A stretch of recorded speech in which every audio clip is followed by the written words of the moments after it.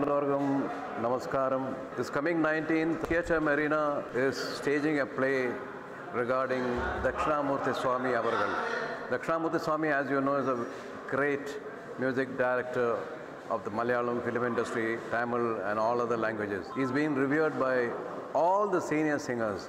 He's a guru to our Jesudas and all his grandchildren also. I know him since 1967 because I, I happened to attend one of his concerts here when I was studying in uh, Christian College.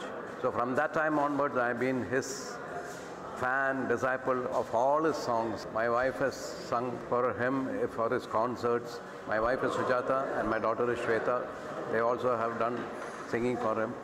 I wish the function all the success and hope all of you will turn in large numbers to bless the uh, function and to be a part of it. Thank you so much.